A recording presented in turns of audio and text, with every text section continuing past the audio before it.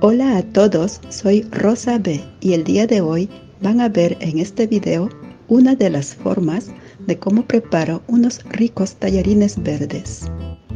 Ingredientes: espinacas, albahaca, perejil, pecanas, cebolla, queso, ajos, sal, aceite vegetal, fideos, cúrcuma un poquito.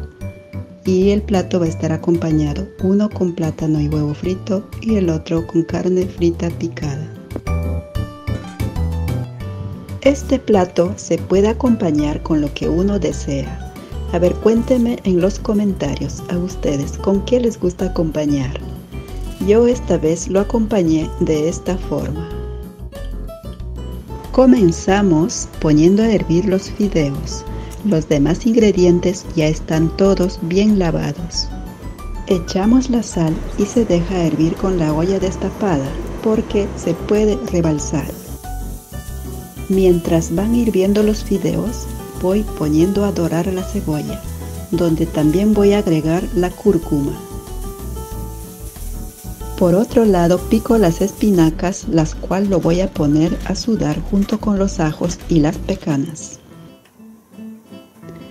Ahora mezclo la cúrcuma con la cebolla a que se dore bien, donde voy a echar un poco de agua de los fideos para que se cocine más.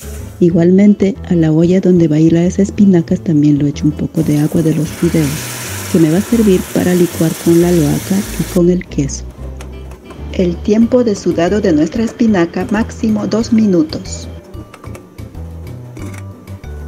La albahaca ya lo tengo en la licuadora. Enseguida agregamos el queso. Luego agrego el sudado de la espinaca.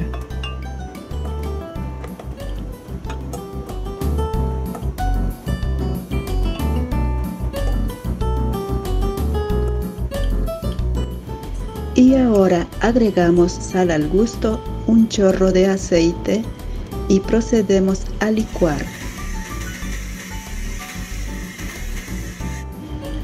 A medio licuar voy a separar una parte para echarle perejil y la otra parte va a ser normal. Para los que sufrimos de la presión alta, el perejil es muy bueno.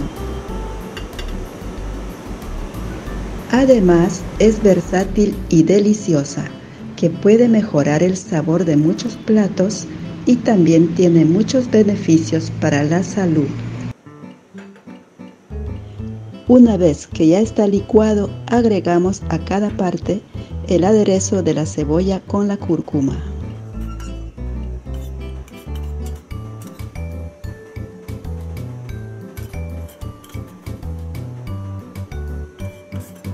Ahora estamos listos para servir.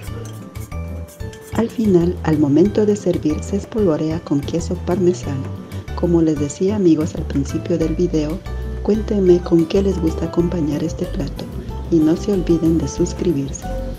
Gracias, nos vemos en el próximo video.